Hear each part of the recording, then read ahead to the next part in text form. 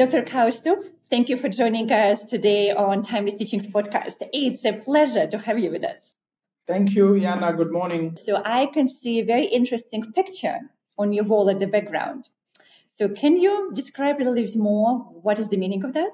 This picture is a photograph of um, a Indian god called Hayagriva, which is our family deity, and it is an incarnation of Vishnu.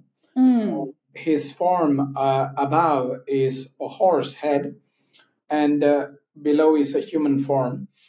And he has he's in that photograph with the goddess together because in our tradition, we don't believe that God is male or female.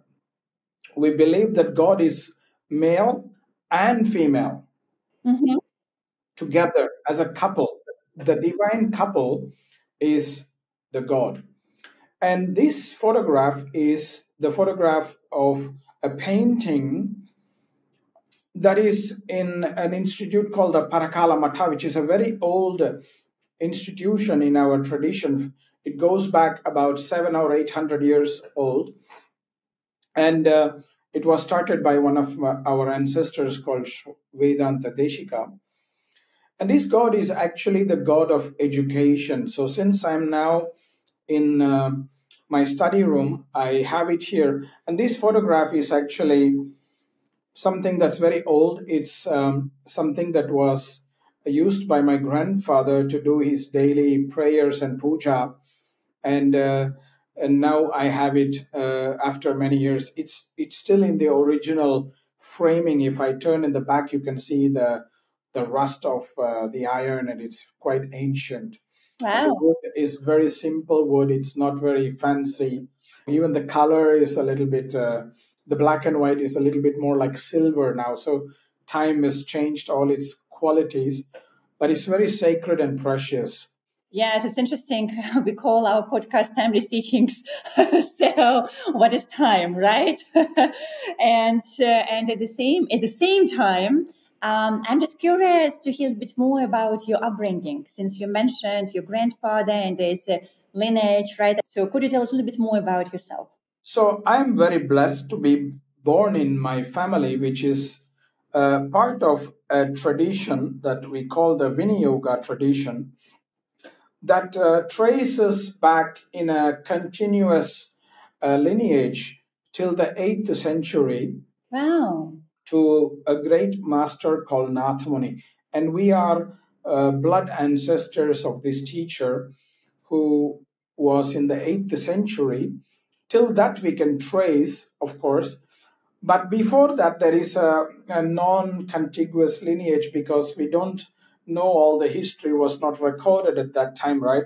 So it goes back to an even more ancient master called Nammalwar, who is considered our first ancestor.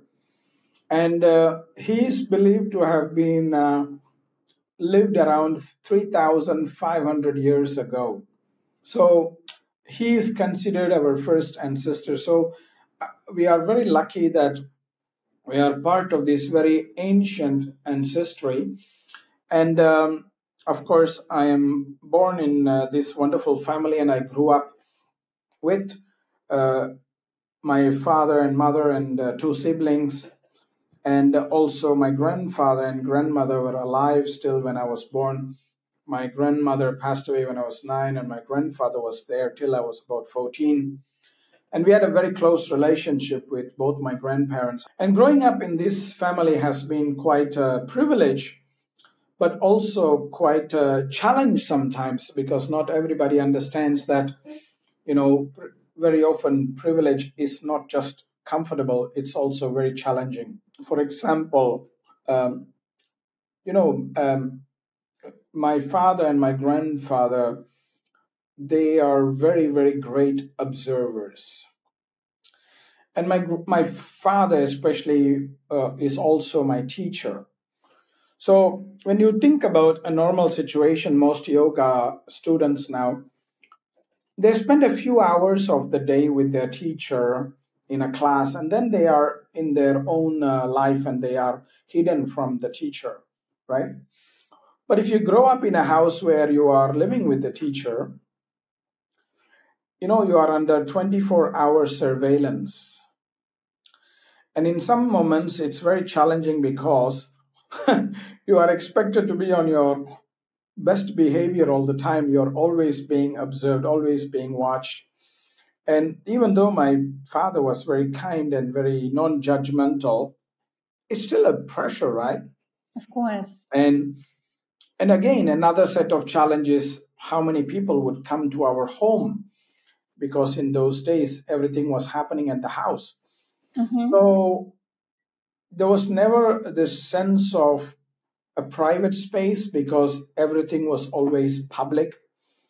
So, more than my parents, my father or my grandfather observing us or judging us, there were always challenges where some of these outsiders, the students of my father, would come for a short period of time and they kind of um, have opinions and judgments and, and things like that. It can be quite overwhelming, but it can also be a great learning lesson for me because very early on in my life, I realized how people are. It was a very great gift for me how people are. And again, I have also other challenges because I have a brother who is mentally handicapped. And so uh, my parents had uh, to spend a lot of time taking care of his needs, even though he's elder to me. Uh, so very often, um, my I was kind of like neglected Mm. because I was normal. And as an adult, I can understand these reasons very well. But as a young child, it was very challenging. However, I realized that that's what made me who I am because I'm quite different and quite independent in my life, in my approach, because I was neglected, I was ignored. And I don't say it in a bad way. I was left to do whatever I wanted to. So I figured out everything by myself. And I think I really always, every day, I do in the morning a gratefulness practice.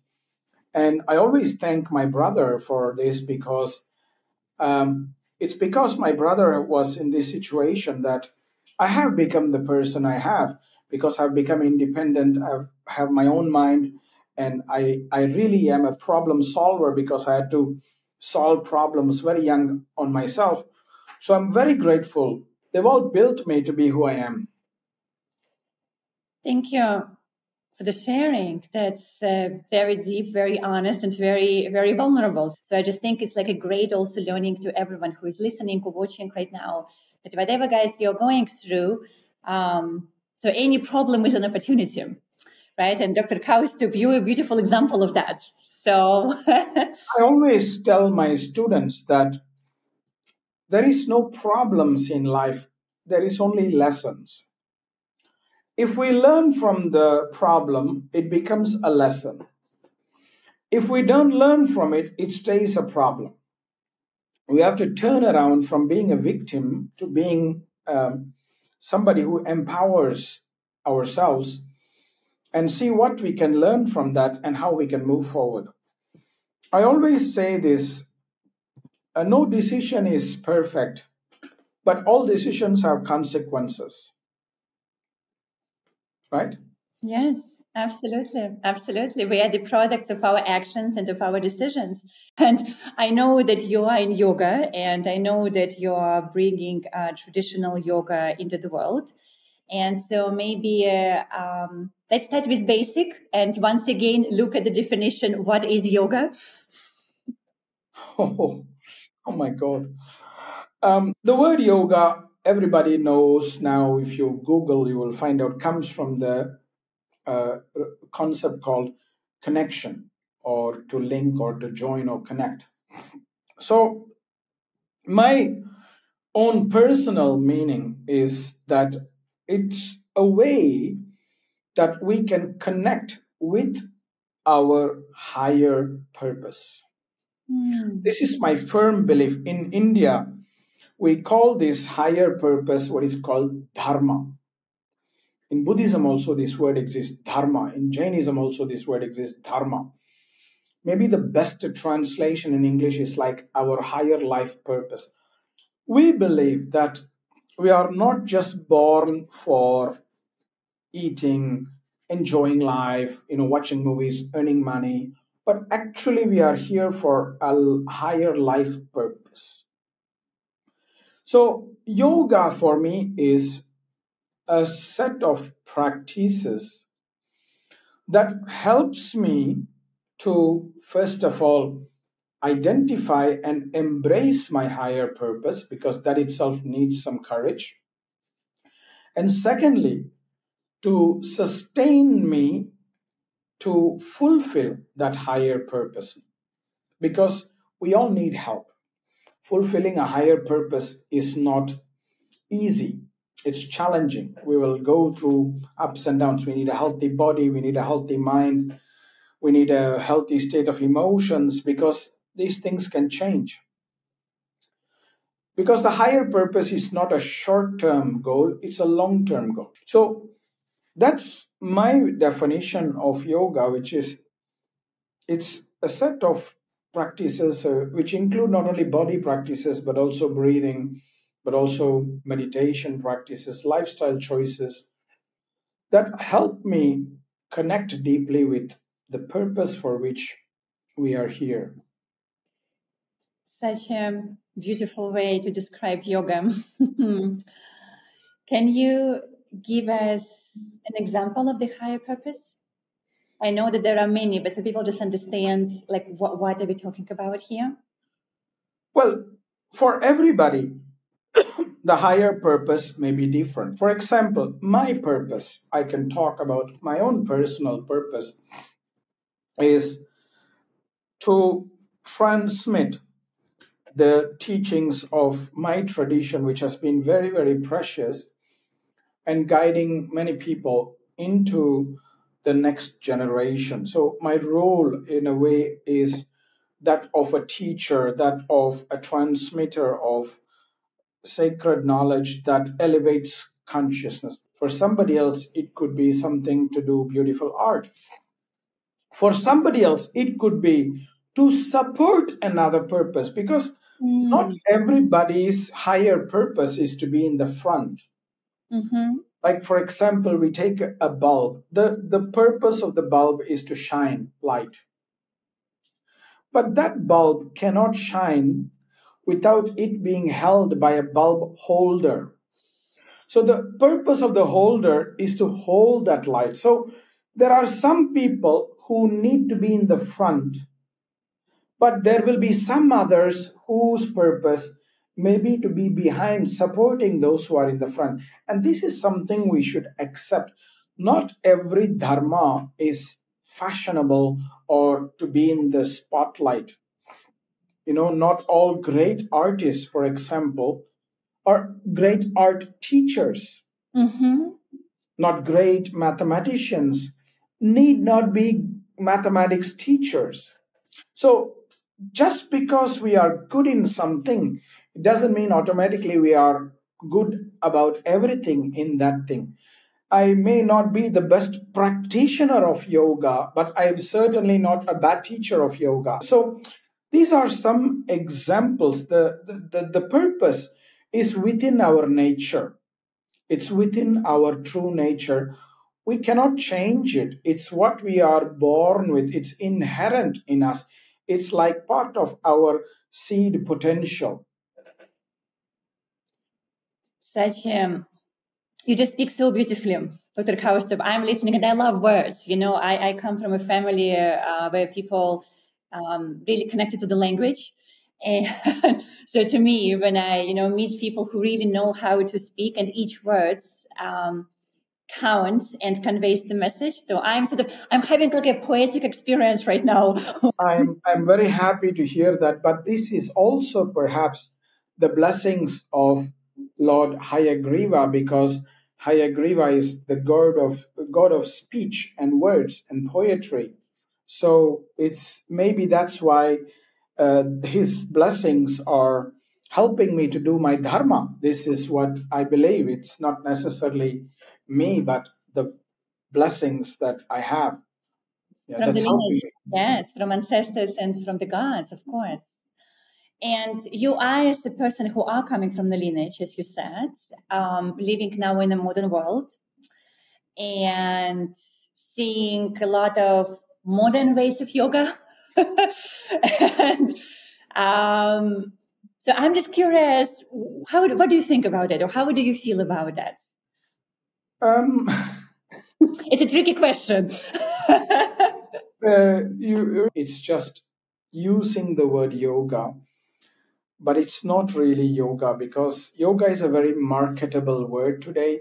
So everybody is using that word to sell something, and it's a it's it's a fashion thing, and hopefully time will will change it. So when you look at the market of yoga today, for example, you have things like uh, dog yoga, hot yoga, uh, whatever yoga, and things like that.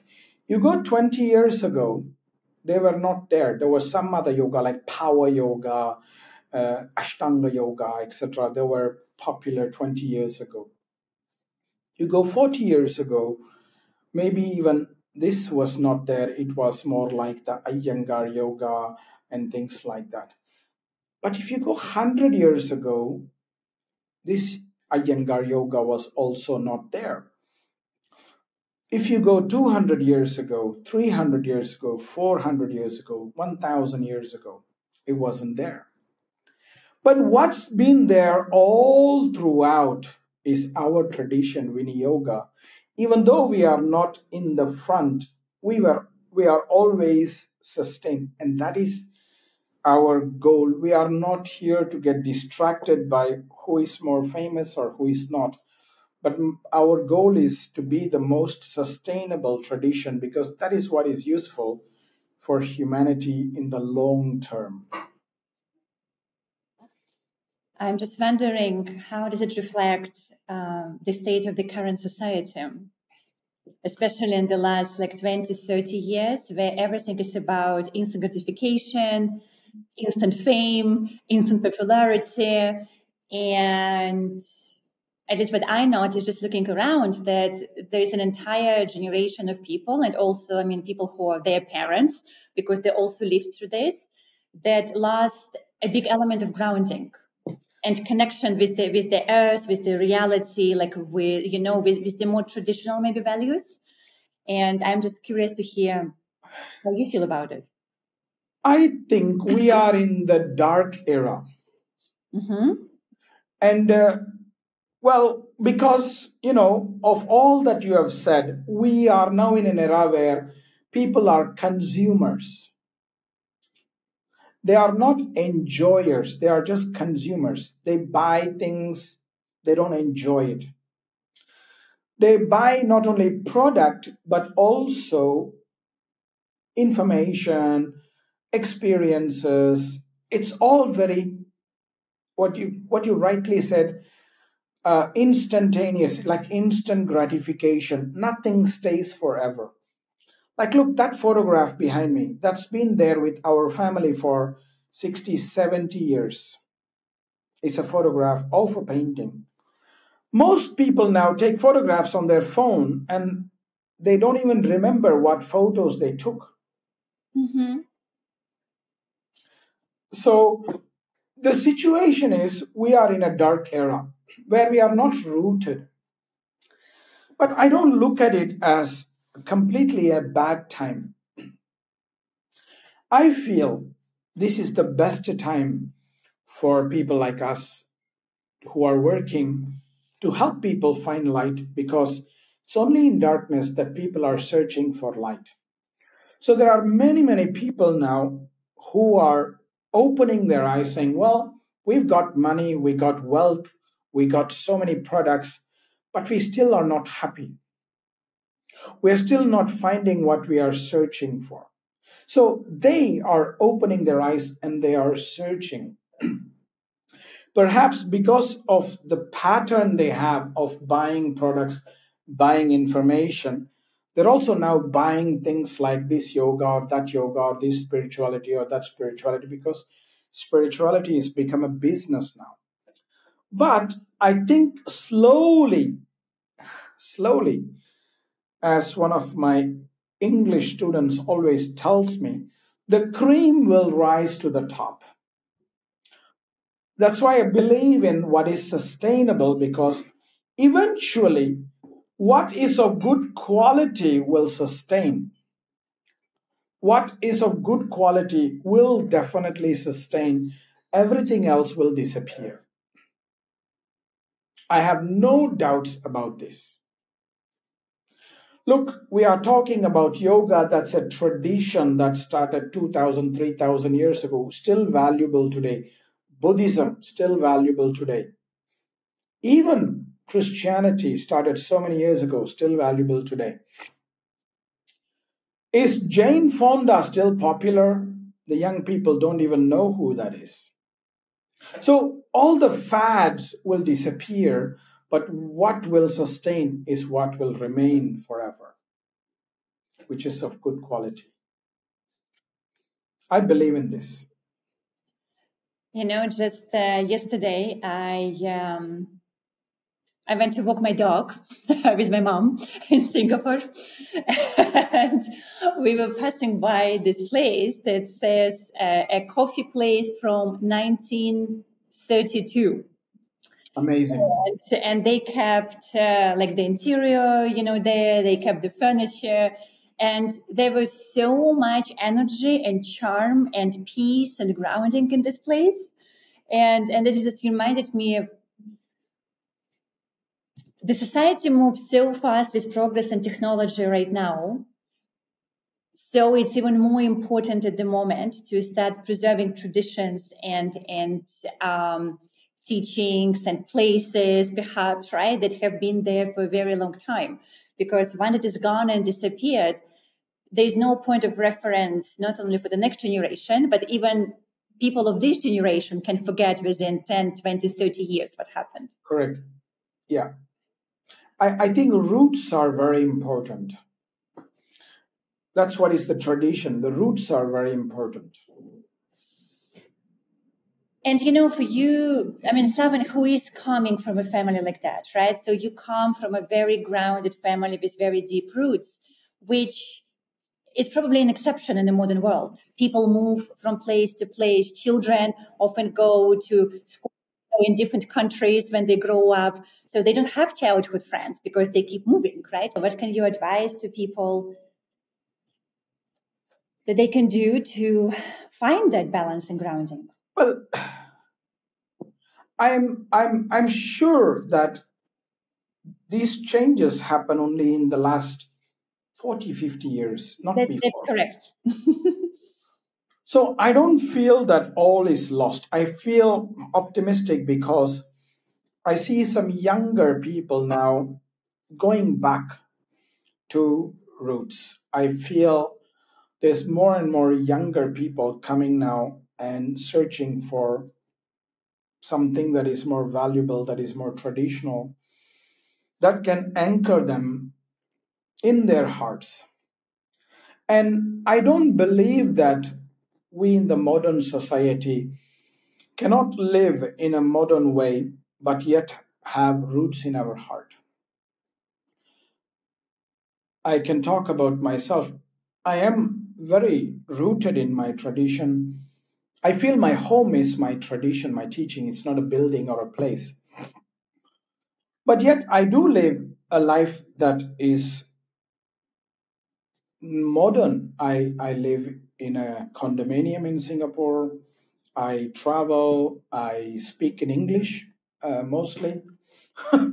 I, I mean, I am I am living a modern life. I use technology, but I use them to help me be rooted, to help me be supported in my heart. And I'm very sure that people can find that. And root is not only about a religion or uh, some kind of you know place or something like that the roots can also be something like our own belief system, our value system, our morals, our ethics. And that is what we need to root ourselves. Ask ourselves the question why are we existing here? Is it just to buy products and consume, or is there some other reason why we are existing? You know? And that's what we have to ask. I mean, most modern societies, they have all the wealth. But what are we doing with the wealth to, to lift ourselves up or others up? Are we even doing that? We're not. Most people are consumers, like they just consume, but they're not making themselves become better people. So we need to ask ourselves this question. And this is a beautiful question to leave our audience to ponder upon after they have listened to our conversation here today. So I find that for any human being, it's a very, very powerful question to ask every day. What am I doing with my life? Yeah. So thank you so much, Dr. Kausthub, for joining us today. It was truly pleasure to have a conversation. And, and, of course, for everyone who is curious and interested to learn more about uh, what you do and how to connect with you, we will include all information in the links. So please check out description in the podcast and YouTube video and uh, subscribe to the show, share with friends, and we see you next time. Thank you. Thank you, man. Feel free to share this episode with friends, subscribe to the podcast and YouTube channel, and follow us on social media. And remember, you are the master of your own life.